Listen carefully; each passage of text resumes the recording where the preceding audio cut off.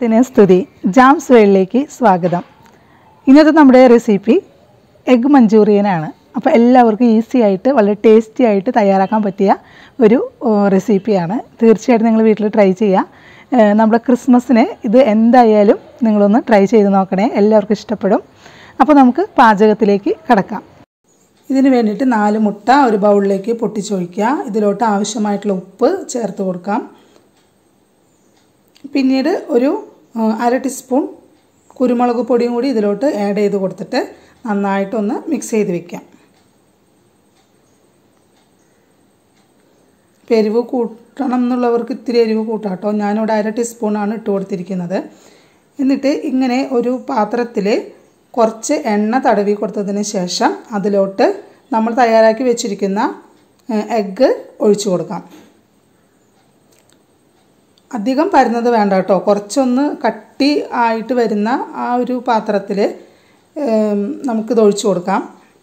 ഗ്ലാസിന്റെ ബൗൾ ചതുരത്തിലുള്ളത് ഉണ്ടെങ്കിൽ അതും നമുക്ക് എണ്ണ തടവി അതിലോട്ട് ഒഴിച്ചു കൊടുക്കാവുന്നതാണ്. വല്ലാണ്ട് പരന്നു പോയി കഴിഞ്ഞ് കഴിഞ്ഞാൽ നമ്മുടെ എഗ്ഗ് മഞ്ചൂറിയനിലത്തെ എഗ്ഗിന് വളരെ കട്ടി കുറവായിരിക്കും. ഒരു ആവി കയറ്റി വേവിക്കാവുന്ന പാത്രത്തിൽ ഇഡലി പാത്രത്തിലോ നമുക്കിത് കയറ്റി വെച്ച് ഇതൊന്ന് വേവിച്ചെടുക്കാം. ഒരു പതിനഞ്ച് മിനിറ്റ് മുതൽ ഇരുപത് മിനിറ്റ് വരെയുള്ള സമയത്ത് മീഡിയം ഫ്ലെയിമിൽ വെച്ച് കഴിഞ്ഞാൽ ഇത് കുക്കായി കിട്ടും. അപ്പോൾ നമുക്ക് മൂടി വെച്ച് ഒരു ഇരുപത് മിനിറ്റിന് ശേഷം തുറന്ന് നോക്കാം. ഇപ്പോൾ ഒരു ഇരുപത് മിനിറ്റ് കഷ്ടിയാവുന്നുള്ളൂ നമ്മുടെ എഗ്ഗ് നന്നായിട്ട് വെന്ത് വന്നിട്ടുണ്ട്. ഒരു സ്റ്റൂവർ കൊണ്ടൊന്ന് കുത്തി നോക്കി കഴിഞ്ഞാൽ നമുക്കിത് വെന്തോ ഇല്ല എന്നുള്ളത് മനസ്സിലാവും.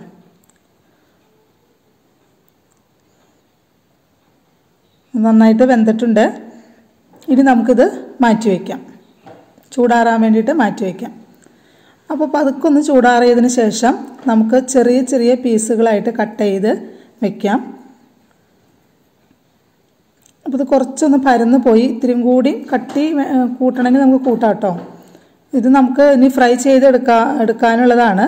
വല്ലാണ്ട് കട്ടി കൂട്ടാനും പാടില്ല എന്നാൽ വല്ലാണ്ട് തിക്നെസ് കുറയ്ക്കാനും പാടില്ല. ചെറിയൊരു സ്ക്വയർ രൂപത്തിൽ നമുക്കിത് മുറിച്ചെടുക്കാം. ഒരു അര കപ്പ് കോൺഫ്ലോർ എടുത്തിട്ടുണ്ട്. ഇതിലോട്ട് ഒരു കാൽ ടീസ്പൂൺ കുരുമുളക് പൊടി പിന്നെ ഇതിനാവശ്യമായിട്ടുള്ള ഉപ്പ് പിന്നെ ഒരു കാൽ ടീസ്പൂൺ മഞ്ഞൾപ്പൊടി എടുത്ത് നന്നായിട്ട് മിക്സ് ചെയ്തതിന് ശേഷം ഒരു രണ്ടോ മൂന്നോ ടേബിൾ സ്പൂൺ വെള്ളം ഇതിലോട്ട് ഒഴിച്ചിട്ട് നന്നായിട്ടൊന്ന് മിക്സ് ചെയ്തെടുക്കാം. അധികം വെള്ളം ആയി കഴിഞ്ഞാൽ നമുക്ക് ആ മാവിന്റെ തിക്നെസ് കിട്ടില്ല. ഒരു രണ്ട് ടേബിൾ സ്പൂൺ ഒഴിച്ചതിന് ശേഷം ഒന്ന് മിക്സ് ചെയ്യുക എന്നിട്ട് കുറച്ച് കുറച്ചായിട്ട് മിക്സ് ചെയ്തിട്ട് ഒത്തിരി കട്ടിയിൽ അതായത് ഇത് എഗ്ഗ് നമ്മൾ വേവിച്ച് വെച്ചിരിക്കുന്നത് പിടിക്കുന്ന രീതിയിൽ നമ്മളതിന്റെ ഇത് തയ്യാറാക്കിയതിന് ശേഷം നമ്മൾ മുറിച്ച് വെച്ചിരിക്കുന്ന എഗ്ഗ് ഇതിലോട്ട് ഇട്ട് കൊടുത്ത് നന്നായിട്ട് മുക്കിയെടുക്കാം. എഗ്ഗ് പീസസ് മുഴുവൻ നമ്മളത് മുക്കി വെച്ചു. അതിനുശേഷം നമുക്കൊരു പാത്രത്തിൽ എണ്ണ ചൂടാക്കിയതിന് ശേഷം നമ്മൾ എടുത്തു വെച്ചിരിക്കുന്ന എഗ് പീസസ് എണ്ണയിലോട്ടിട്ട് നന്നായിട്ടൊന്ന് പൊരിച്ചെടുക്കാം. അപ്പോൾ ഒരു മീഡിയം ഫ്ലെയിമിൽ വെച്ചാൽ മതിയാവും. അപ്പോൾ ഓരോ ഓരോ പീസസ് നമുക്ക് എണ്ണയിലിട്ടിട്ട് നന്നായിട്ടൊന്ന് ഫ്രൈ ചെയ്തെടുക്കാം. അപ്പോൾ ഞാനിത് ഒറ്റ ട്രിപ്പിൽ കഴിയാൻ വേണ്ടിയിട്ടാണ് കേട്ടോ എല്ലാം കൂടി ഇട്ടത്. ഇത് രണ്ട് ട്രിപ്പിലായിട്ട് കഴിഞ്ഞാൽ ഇത്ര ഇങ്ങനെ ഒട്ടിപ്പിടിക്കില്ല. നമുക്ക് ഒറ്റ ട്രിപ്പിൽ ഇട്ട് കഴിഞ്ഞാൽ കുറച്ച് അല്ലാതെ അല്ലാതെ ഒട്ടിപ്പിടിക്കും അപ്പോൾ നമുക്കൊന്ന് ചൂടാറിയതിന് ശേഷം അത് കൈ കൊണ്ടൊന്ന് വേർപ്പെടുത്തി എടുക്കാവുന്നതേ ഉള്ളൂ. അപ്പോൾ തീ നന്നായിട്ട് ഒരു മീഡിയം ഫ്ലെയിമിൽ വെച്ചാൽ മതിയാവും. തിരിച്ചു മറിച്ചിട്ടിട്ട് അതിന്റെ രണ്ട് പുറം ഒന്ന് കുക്കായതിന് ശേഷം നമുക്ക് എടുത്തു വെക്കാം. അധികം കുക്കാക്കേണ്ട ആവശ്യമില്ല. കാരണം എഗ്ഗൊക്കെ നന്നായിട്ട് വെന്തിട്ടുള്ളതാണ്. ഇനി നമുക്ക് ആ എണ്ണ കുറച്ച് എണ്ണ വേറെ പാത്രത്തിലോട്ട് മാറ്റിയതിന് ശേഷം ഒരു ഒന്നര ടേബിൾ സ്പൂൺ വെളുത്തുള്ളി ചെറുതാക്കിയിട്ട് നുറുക്കിയ വെളുത്തുള്ളി നമുക്കിതിലോട്ട് ഇട്ട് കൊടുക്കാം. പിന്നെ ഒരു ടേബിൾ സ്പൂൺ ഇഞ്ചി ചെറുതായിട്ട് കട്ട് ചെയ്ത ഇഞ്ചിയും നമുക്കിതിലോട്ട് ഇട്ടിട്ട് നന്നായിട്ടൊന്ന് ഫ്രൈ ചെയ്തെടുക്കാം.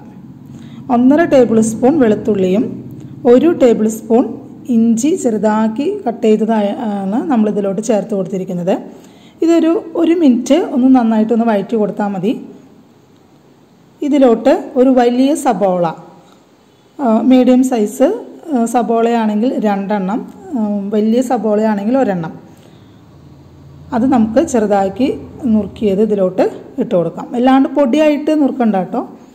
ഒരു കുറച്ചൊന്ന് വലുതാക്കിയിട്ട് നമുക്കിതിലോട്ടൊന്ന് അരിഞ്ഞ് ഇതിലോട്ട് നന്നായിട്ടൊന്ന് ഫ്രൈ ചെയ്തെടുക്കാം. ഇതൊരു രണ്ട് മിനിറ്റ് ഒന്ന് ഫ്രൈ ചെയ്താൽ മതി. ഇനി ഇതിലോട്ട് ക്യാപ്സിക്കം ആണ് കേട്ടോ അത് തക്കാളിയാണെന്ന് തോന്നും. പക്ഷേ ഇത് റെഡ് ക്യാപ്സിക്കാണ് ഫ്രിഡ്ജിൽ വെച്ച് മൂന്നാൽ ദിവസമായ ക്യാപ്സിക്കം ആയ കാരണമാണ് ഇങ്ങനെ തോന്നുന്നത്. നമുക്ക് ഗ്രീൻ ക്യാപ്സിക്കം ഉണ്ടെങ്കിൽ അത് ചേർത്ത് കൊടുക്കാം. എന്റെ കയ്യിൽ റെഡ് ക്യാപ്സിക്കം ആയിരുന്നു. അതാണ് ചേർത്ത് കൊടുത്തത്. തക്കാളിയല്ല. ഇതിലോട്ട് ഒരു കാൽ ടീസ്പൂൺ മഞ്ഞൾപ്പൊടി തൂവി കൊടുത്ത് നന്നായിട്ടൊന്ന് മിക്സ് ചെയ്യാം. പിന്നെ ഒരു അര ടീസ്പൂൺ മുളക് പൊടി. ഇതിലോട്ട് ഇട്ട് കൊടുത്തിട്ടുണ്ട്. അപ്പോൾ ഗ്രീൻ ക്യാപ്സിക്കം ഇല്ലെങ്കിൽ മാത്രം റെഡ് ക്യാപ്സിക്കം ഇട്ട് കൊടുത്താൽ മതി കേട്ടോ ഗ്രീനാണ് ശരിക്കും ഇടേണ്ടത്.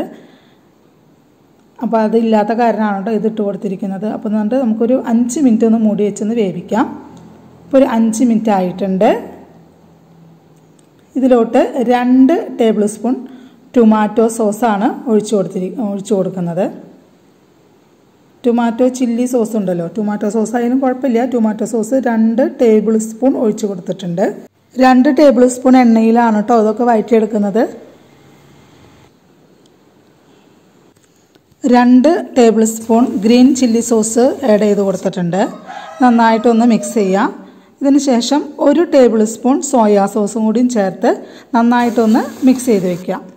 ഇതിന് ശേഷം നമ്മൾ വറുത്ത് വെച്ചിരിക്കുന്ന ഓരോരോ എഗ് പീസസ് ഇതിലോട്ട് ഇട്ട് കൊടുക്കാം.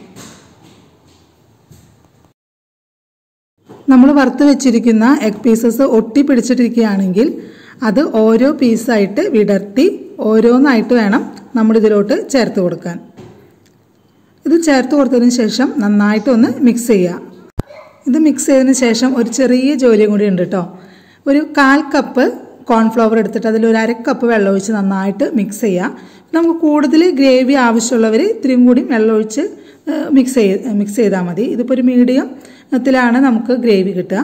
നന്നായിട്ട് മിക്സ് ചെയ്തതിന് ശേഷം നമുക്ക് ഈ കറിയിലോട്ട് ഒഴിച്ചു കൊടുക്കാം. ഗ്രേവിക്ക് വേണ്ടിയിട്ടാണ് കേട്ടോ ഇത് ഒഴിച്ചു കൊടുക്കുന്നത്. ഇത് അത്യാവശ്യം തിക്നെസ് ഉണ്ടാവും. നന്നായിട്ട് ഗ്രേവി വേണമെന്നുള്ളവർക്ക് കുറച്ചും കൂടി വെള്ളം ചേർത്ത് കൊടുക്കാം കേട്ടോ. ഇത് ചേർത്ത് കൊടുത്ത് നന്നായിട്ട് മിക്സ് ആയതിനു ശേഷം ഒരു രണ്ട് മിനിറ്റ് നമുക്ക് അടച്ചു വെക്കാം. ഇപ്പോൾ രണ്ട് മിനിറ്റ് കഴിഞ്ഞു. നമ്മൾ തുറന്നു. ഇപ്പോൾ അത്യാവശ്യം ഗ്രേവി ആയിട്ടുണ്ട്. ഇത് നന്നായിട്ട് മിക്സ് ചെയ്ത് കൊടുക്കുക. ഇതിലോട്ട് ഒരു അര ടീസ്പൂൺ കുരുമുളക് പൊടിയും കൂടി നമുക്ക് തൂവി കൊടുക്കാം കേട്ടോ. കുരുമുളക് പൊടി ഇടയുന്നത് വീഡിയോയിൽ എങ്ങനെ മിസ്സായി പോയതാണ് കേട്ടോ. ഇനി നമ്മുടെ കയ്യിൽ സ്പ്രിംഗ് ഓണിയൻ ഉണ്ടെങ്കിൽ നമുക്കതൊന്ന് ഇതിലോട്ട് വിതറി കൊടുക്കാം. സ്പ്രിംഗ് ഓണിയൻ ഓപ്ഷണലാണ് നമുക്ക് സ്പ്രിംഗ് ഓണിയൻ ഇല്ലെങ്കിൽ മല്ലിയില മുകളിലോ മുകളിലോട്ട് തൂവി കൊടുത്താലും മതി കേട്ടോ അപ്പോൾ ഒരു കളർഫുള്ളായില്ലേ നമ്മുടെ കറി സ്പ്രിംഗ് ഓണിയൻ കൂടി ഇട്ടപ്പോൾ സ്പ്രിംഗ് ഓണിയൻ തൂവിയതിന് ശേഷം ഒരു മിനിറ്റ് ലോ ഫ്ലെയിമിൽ വെച്ചാൽ മതി. മൂടി വെച്ച് ഒരു മിനിറ്റ് വെച്ചാൽ മതി. ഒരു മിനിറ്റിന് ശേഷം നമുക്ക് തീ ഓഫ് ചെയ്യാം. എഗ്ഗ് മഞ്ചൂറിയൻ റെഡി ആയിട്ടുണ്ട്. ഇത് ചൂട്ടോടുകൂടി തന്നെ സെർവ് ചെയ്യുക സെർവിങ് പ്ലേറ്റിലോട്ട് നമുക്ക് മാറ്റാം. എഗ് മഞ്ചൂരിയൻ റെസിപ്പി നിങ്ങൾക്ക് ഇഷ്ടപ്പെട്ടു എന്ന് വിചാരിക്കുകയാണ്. ക്രിസ്തുമസിന് സ്പെഷ്യൽ വിഭവമായിട്ട് ഇതൊന്ന് ട്രൈ ചെയ്ത് നോക്കൂ. എല്ലാവർക്കും ഇഷ്ടപ്പെടും. ഉണ്ടാക്കാനും വളരെ ഈസിയാണ് കേട്ടോ അപ്പോൾ നിങ്ങൾ ഉണ്ടാക്കി നോക്കിയിട്ട് നിങ്ങളുടെ കമൻസ് എന്തായാലും ഒന്ന് അറിയിക്കണേ. ഇഷ്ടപ്പെട്ട നിങ്ങളുടെ കൂട്ടുകാർക്കായിട്ടൊന്ന് ഷെയർ ചെയ്ത് നോക്കുക. ഒന്ന് ലൈക്ക് ചെയ്യുക. പിന്നെ നമ്മൾ ചാനൽ സബ്സ്ക്രൈബ് ചെയ്യാത്തവർ പ്ലീസ് സബ്സ്ക്രൈബ് താഴെ കാണുന്ന ബെൽ ബട്ടൺ ക്ലിക്ക് ചെയ്ത് അതിലോളെന്ന ഓപ്ഷൻ ക്ലിക്ക് ചെയ്യുമ്പോൾ ഞാനിടുന്ന വീഡിയോസ് നിങ്ങൾക്ക് അപ്പോൾ തന്നെ നോട്ടിഫിക്കേഷനായിട്ട് കിട്ടുന്നതായിരിക്കും. മറ്റൊരു വീഡിയോയിൽ കാണുന്നത് വരെ ബായ് താങ്ക്